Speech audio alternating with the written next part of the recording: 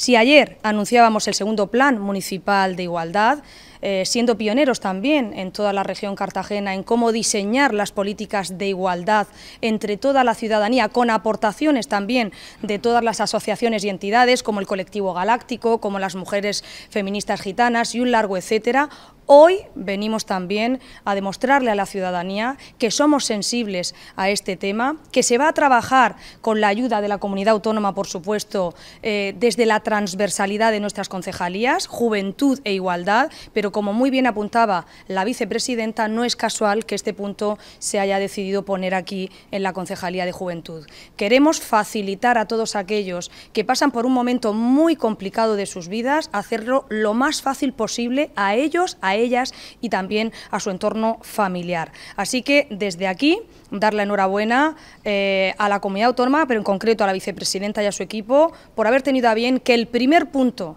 arcoíris de toda la región estará en Cartagena, a los grandes profesionales que tenemos aquí en la concejalía, psicólogas, psicólogos, sociólogos y un largo etcétera de profesionales que demuestran que Cartagena está muy activa en eh, abordar el tema de las desigualdades y bueno, hoy Cartagena se consolida como la capital LGTBI de la región de Murcia, apostando por la puesta en marcha de un servicio que para el Gobierno regional es imprescindible y es un servicio de atención psicológica, de asesoramiento y acompañamiento a las personas LGTBI y a sus familias. Este es un paso importantísimo que viene a confirmar la apuesta de Cartagena por la libertad en la identidad sexual y que por supuesto cuenta a partir de ahora con el respaldo del Gobierno regional que aportando 50.000 euros va a permitir también con el apoyo de colectivos del sector que atendamos a esas personas que cuando descubren que su identidad sexual es una u otra, consideran que necesitan ayuda y que hasta el momento no contaban